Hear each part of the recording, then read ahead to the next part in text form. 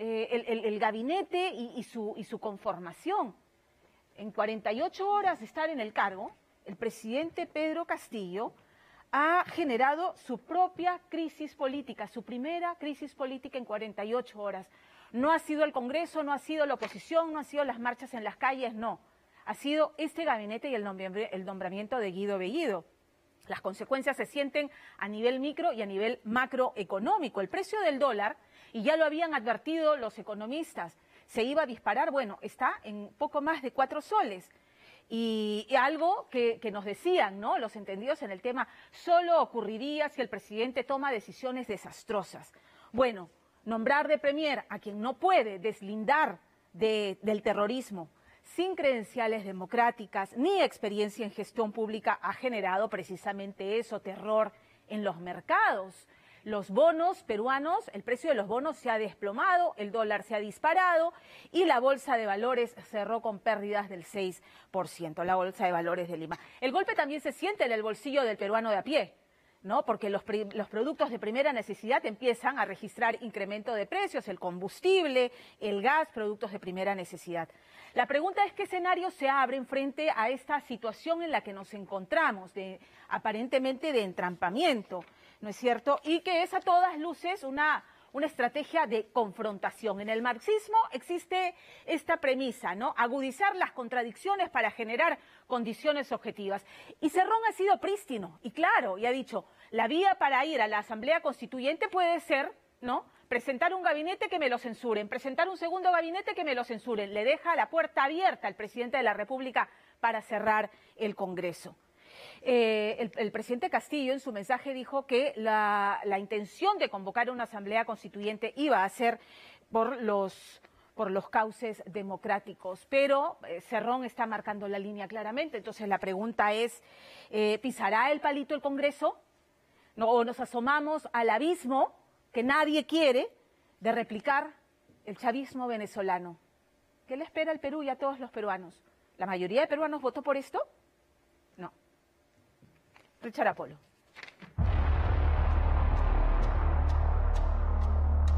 Vladimir Cerrón nunca ha tenido reparos en ocultar su poder. Poco o nada le ha importado mantener distancia, ni su sentencia por corrupción y demás procesos aún en marcha en Junín han sido impedimento para que el dueño y líder de Perú Libre haga gala de su ego descomunal y demostrar que es él quien corta el jamón. Y no solo al parecer en Perú Libre, sino además, y eso es lo más peligroso, en las decisiones del presidente Pedro Castillo. La designación de Bellido es un error o es un acto de provocación? Yo creo que es una provocación y es parte de un plan. Yo creo que el plan de, de, de Cerrón es pongo un gabinete provocador, no, no pongas a Franque, no pongas a Aníbal Torres porque eso le va a bajar la, la carga. Ponlo, ponlo bruto, bárbaro, provocador. Entonces, que lo bajen.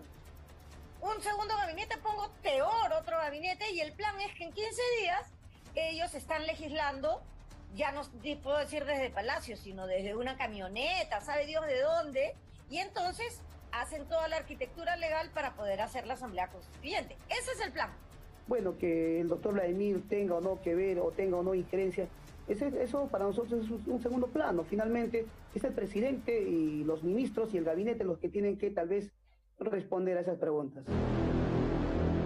Dicen que en política nada es casualidad. Y a estas alturas, a muchos les queda claro que aquello que ni de portero estaría, simplemente va cayendo en saco roto. Y es que lo de Guido Bellido, un hombre no solo con un rosario de cuestionamientos encima, sino además cercanísimo a Vladimir Cerrón, no era para muchos la mejor opción para presidir el Consejo de Ministros. En tiempos de crispación política, en tiempos donde la concertación y los paños fríos debieron ser la prioridad. Yo creo que con la grandeza que debe actuar un político, debía él mismo decir, yo me voy, hay que dejar al presidente para que no haya ningún elemento de distracción, yo me voy, cumplo otro papel y dejo para que el presidente pueda nombrar a otro primer ministro. Yo creo que eso es lo que correspondería. Mira, ahora tenemos a un premier presionado y desnudo de todos sus antecedentes, ¿no?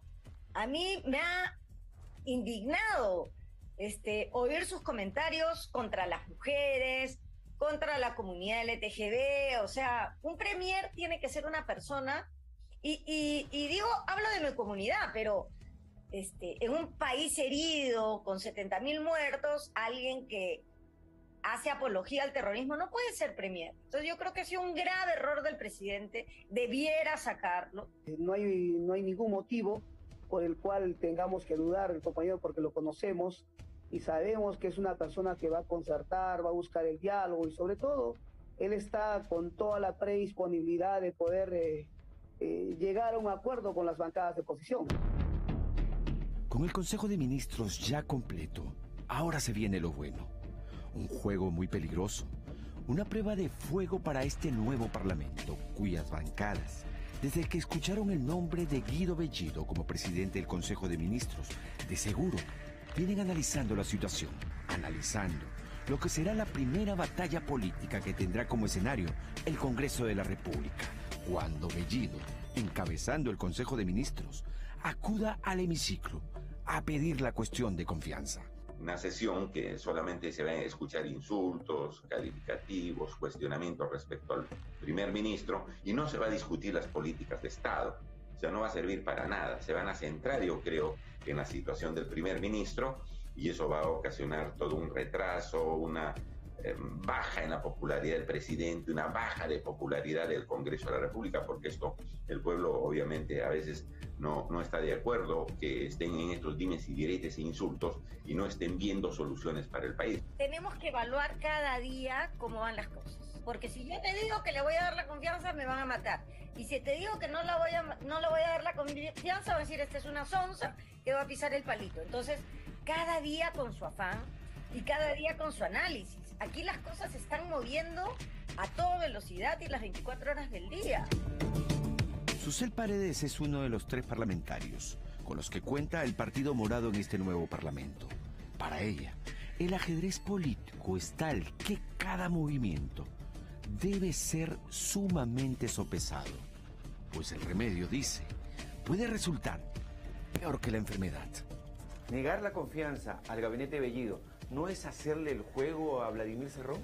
Si a mí un sector radical me dice, censúralos, claro, entonces yo los voy a censurar dos veces para que ellos legislen solos y hagan su asamblea constituyente y nos arruinemos, hay que tener un poco de responsabilidad política, mirada estratégica y visión de jugador de ajedrez. El reemplazante del primer ministro actual hace lo mismo y presenta su programa de gobierno con las principales medidas que requiere su gestión y el Congreso, al Congreso no le convence ese programa y esas medidas, le rechazará también la cuestión de confianza y, ya y ese gabinete del segundo presidente del Consejo de Ministros también cesaría.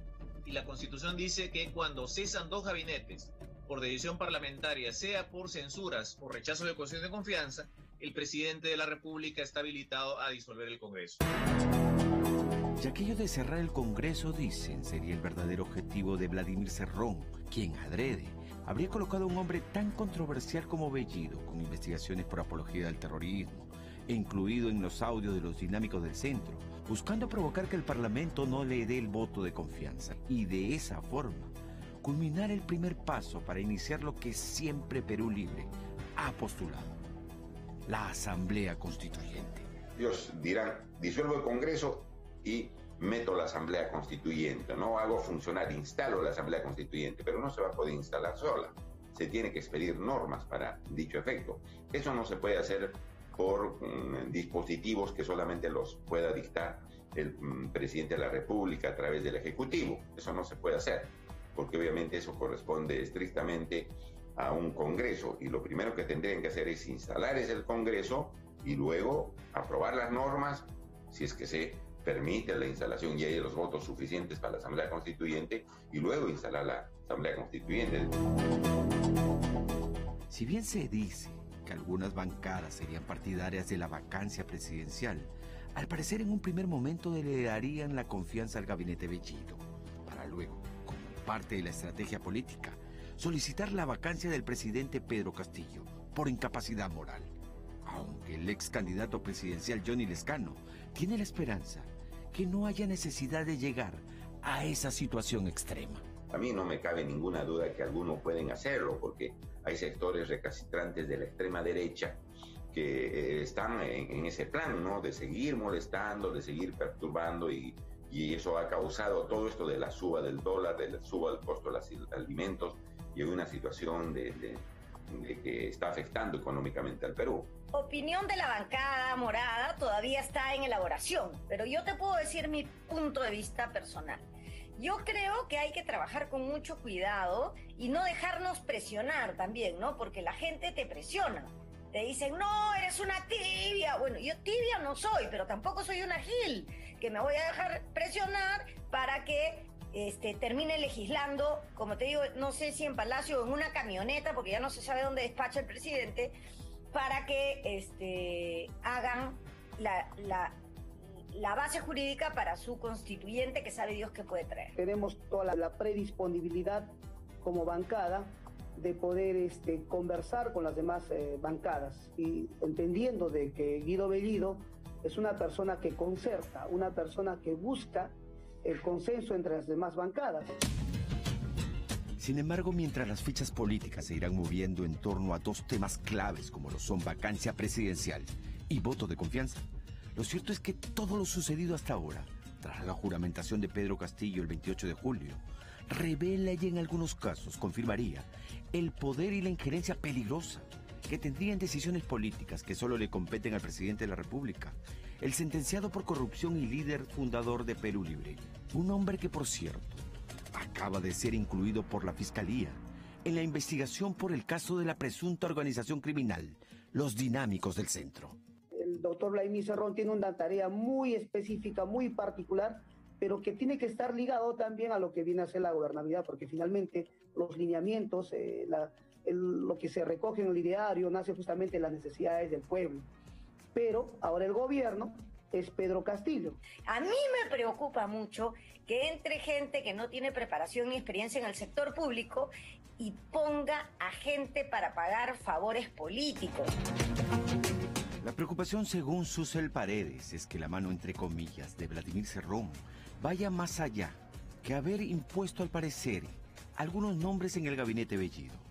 Con un aparato estatal gigantesco, Cerrón, dice Paredes, podría designar, colocar o imponer a personas que no solo no tengan o reúnan las capacidades profesionales necesarias, sino que su única carta de presentación sea la de ser militante de Perú Libre hay que controlarlo, hay que cercarlo. Por eso es muy importante buscar los mandos medios, porque cuando él ya no pueda con, los ministros, porque es muy visible, va a ir abajo. Para cerrarle el paso a Cerrón, necesitamos vigilar los mandos medios, porque por ahí va a entrar él. Él va a meter directores, va a meter subgerentes, él va a querer hacer eso. Yo creo que tienen que imponerse el presidente, tiene que imponerse. Yo creo que a pesar de que hay aflicciones ahí y se hagan públicas, imponerse el presidente. Yo creo que el pueblo lo va, lo va a respaldar a Pedro Castillo. Y además unirse con otras fuerzas políticas democráticas, no convocarlas a otras fuerzas políticas democráticas. Días movidos son los que se vienen próximamente en una coyuntura política que está claro, no tendrá respiro alguno